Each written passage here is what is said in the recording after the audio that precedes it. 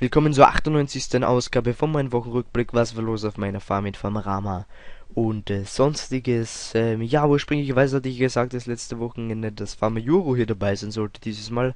Aber leider aus einem ziemlich ärgerlichen Grund ist er jetzt hier doch nicht dabei und er weiß, dann überhaupt wieder Videos macht. Ich weiß nicht, ob ich den Grund jetzt hier auch sagen so darf oder auch nicht. Keine Ahnung, deswegen sage ich es jetzt mal nicht. Aber nun gut, was soll's.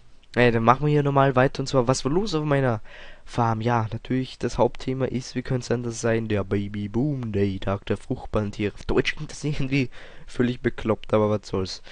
Ne, jedenfalls äh, habe ich dann natürlich auch viel, viel, viel gezüchtet. Könnte es anders sein, mit Bienchen hier.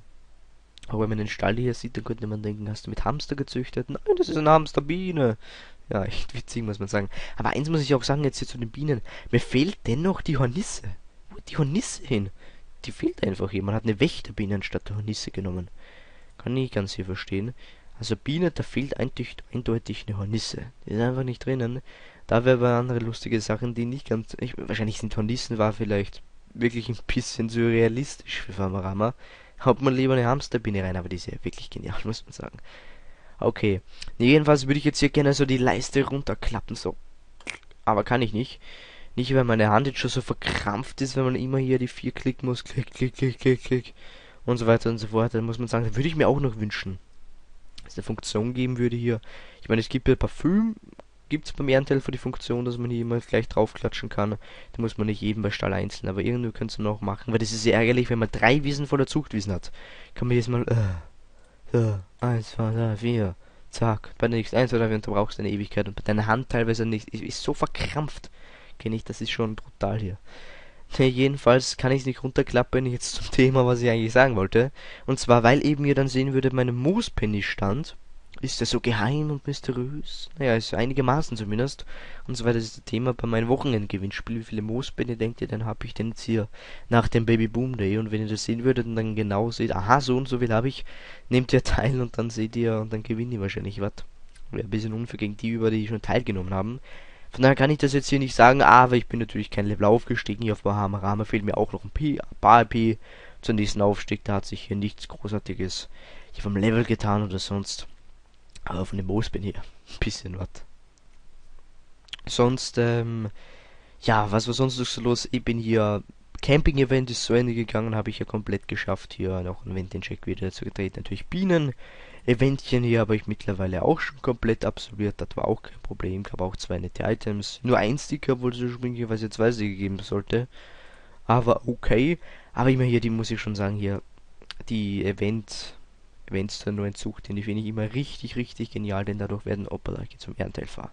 Ne, dadurch, wenn die, gleich das neue Zucht, was ja schon einen schönen Wert hat, dann nochmal in die Höhe gepusht, was beim Event gefordert werden. Das finde ich richtig genial. Auch Baby Boom, der von mir war super duper, kann ich nur sagen. Also wirklich der Hammer. Ich habe was ziemlich Hohes erzüchtet, kann man sagen. Link zu den beiden Videos auch nochmal in der Videobeschreibung. Das ist eine flotte Biene auf hier auf dem Markt. Für 10 Millionen. Vielleicht für die alle, jetzt wäre es ein bisschen Spoiler, wenn ich jetzt sagen würde, weil ich erzüchtet habe.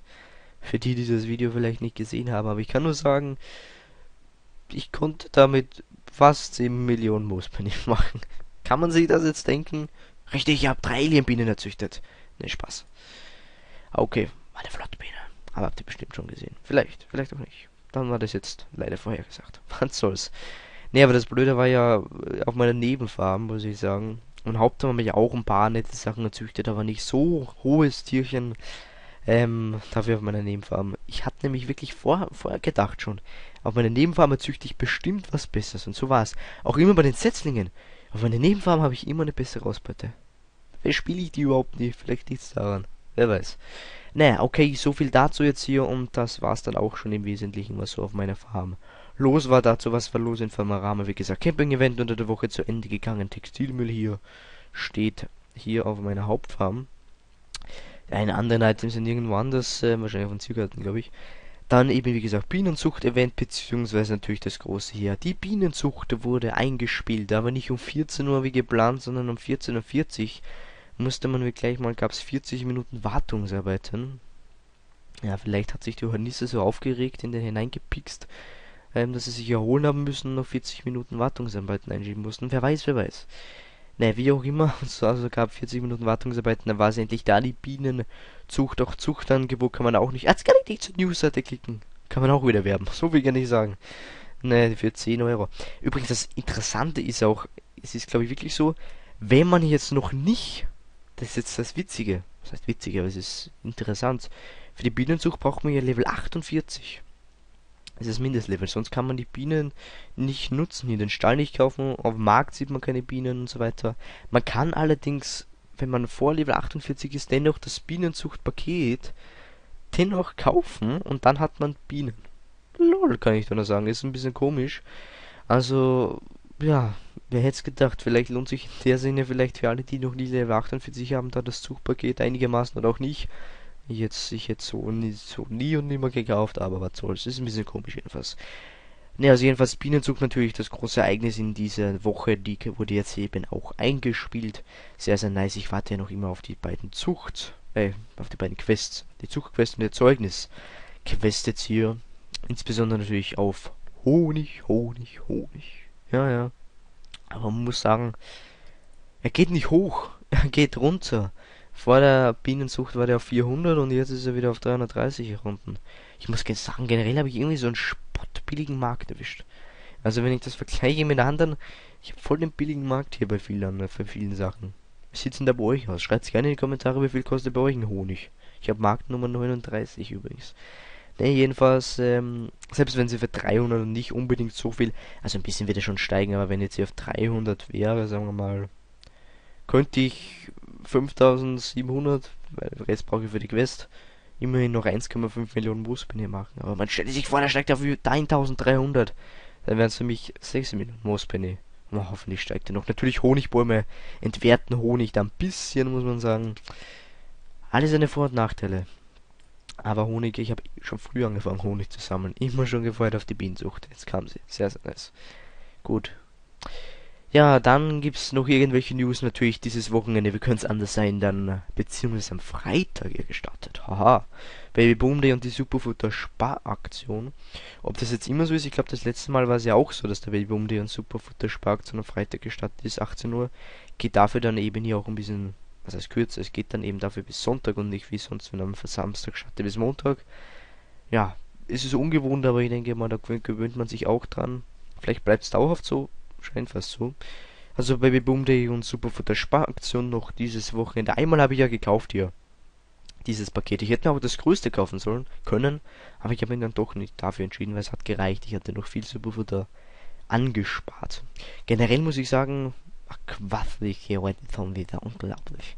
Generell muss ich sagen, in letzter Zeit kommen die Zucht, die ganzen äh, neue Zucht hier in super Abstand. Also die letzte Pantherzucht, die war erst vor einem Monat oder so Davor Kamelzuchten vor nicht allzu langer Zeit, also wenn man ganz früh so zurückdenkt, vor ein Jahr, zwei Jahren, da kamen so die neue Zucht in Abstand von vier Monaten oder so und jetzt von eineinhalb Monaten. Finde ich aber sehr, sehr gut. Denn es wurde mal gesagt, alle Tiere sollen irgendwann in die Zucht kommen. Und wenn man es jetzt so dann macht, wirklich all jeden Monat, eine Zucht, wenn es ja, ich meine, ich kann mir nur vorstellen, dass es ewig dauert, das alles zu designen und neue Tiere und was weiß ich alles. Und dafür alle zwei Monate ein neues Tier irgendwann hat man das dann geschafft. Ne, was sowas. Okay, jetzt, ähm, sonst gibt's gar nicht mehr was los bei hier unter diese Woche.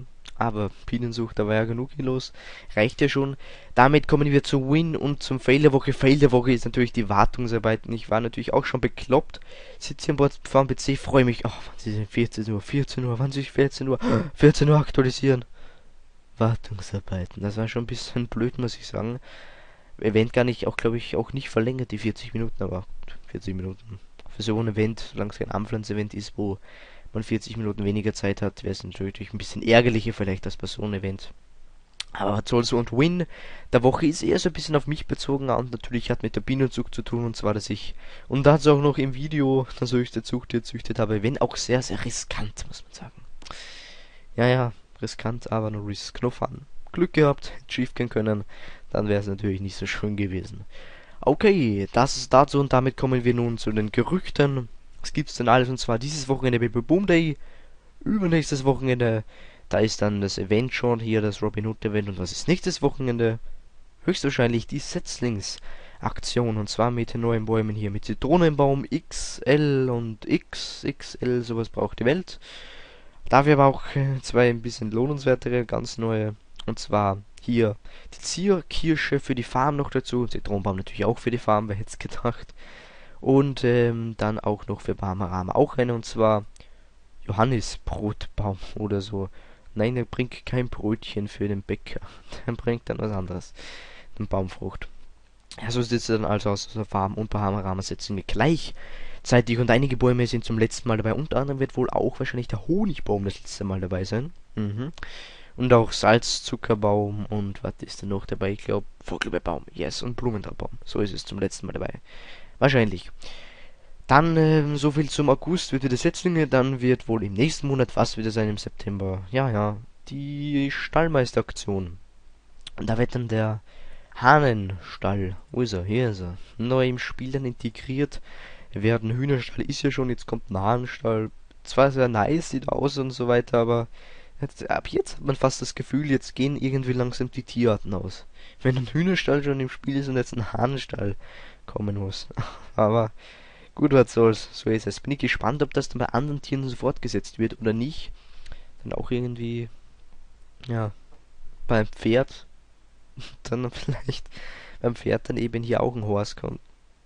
Ein Horse, ein Ross. Oder ist Ross das männliche vom Pferd? Ach, ich bin kein Pferde, Pferdeexperte. Mal schauen. Okay, so sieht's dann aus. Dann weitere Gerüchte sind natürlich, wie gesagt, Robin Hood. Event dann vom 26. bis zum 31. August. Eventpflanze immer so ein Drop-Item, werden dann diese Pfeile in den Köche sein. Sticker ist dieses hier, zwei Items jetzt zu spielen geben. Dann ähm, nicht mehr im August, wohl dann im September auch hier die Bilder zum Oktoberfest-Event, da sind ja auch schon ein paar aufgetaucht, das sind diese dann eben hier. Ähm, dann äh, gibt es noch ein paar ältere Gerüchte, wie zum Beispiel neues Forum, was für Farmerama, ob es überhaupt noch kommt, der weiß, oder auch hier Elefantenstelle und so weiter und so fort. Das wird irgendwann kommen, wann genau, Fragezeichen, vielleicht wird Elefant das nicht gezucht hier. Hm. Wer weiß, wer weiß. Es ist jetzt kein Gerücht, es ist nur eine Vermutung. Ah, genau. Aber manchmal sind Vermutungen auch Gerüchte. Vermutungen sind eigentlich Gerüchte. Was soll's. Ne, gut, aber garantieren kann ich es natürlich überhaupt nicht. Das ist jetzt äh, nur mein Bauchgefühl sagt mir irgendwie, Elefant wird das nicht gezucht. Ich weiß es nicht. Aber nur eine Vermutung. Was ein Gerücht ist. Ja. Ne, völlig bekloppt, jetzt können wir zum nächsten Thema. Dazu kommen wir zum Schluss noch ähm, zu Sonstiges. Und da eben nochmal der Hinweis, wenn ihr noch nicht teilgenommen habt, könnt ihr es noch tun an meinem Wochenendgewinnspiel. Habt noch Zeit bis heute 18 Uhr. Außer ihr seht das Video nach 18 Uhr, dann ist es ein bisschen blöd gelaufen, wie viele EP, äh, Moos bin ich, sorry. Ich denn jetzt hier nach dem Babyboom, der habe auf meiner Hauptfarm, also nicht auf meiner Nebenfarm, wo ich ein ziemlich hohes Zucht erzüchtet habe, sondern auf meiner Hauptfarm, gibt es unter einem Königskranz und viele andere tolle Sachen hier zu gewinnen. Ähm, dann habe ich auch ein Video gedreht unter der Woche zu den Top 3 Dingen in Farmarama, die ihr auf keinen Fall machen solltet, wo man sich wirklich nur den Kopf klatschen kann ähm, gibt ja noch viele andere Sachen. Es fiel mir doch ein bisschen schwer, das auf drei einzugrenzen. Ähm, weil da gibt es auch, wie in jedem Spiel, muss man sagen, Sachen, die man wahrscheinlich eher nicht tun würde. So auch da. Und dann ist es auch soweit und zwar morgen.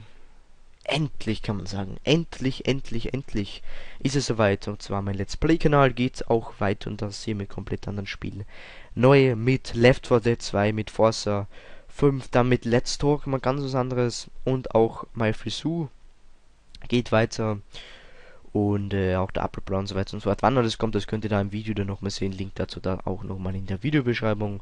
Und das soll es jetzt ja auch gewesen sein von diesem Video hier, von meiner 98. Ausgabe von Was wird los auf meiner Farm in Farmarama und sonstiges mit Gerüchten, bli bla blub. Ich hoffe natürlich, euch hat's gefallen, euch noch viel Spaß, wenn ihr noch dabei seid, beim Züchten vielleicht. Ich hätte auch noch ein bisschen Superfutter, aber ich weiß nicht. Ich habe alles, eigentlich alles erreicht, was ich wollte. Okay, gut, von daher bis zum nächsten Mal, bis morgen, denn morgen startet dann auch wieder ein Handwerksgewinnspiel. Und zwar wird es wahrscheinlich ein Puzzle sein. Wieder. Mal schauen, wie es ankommt.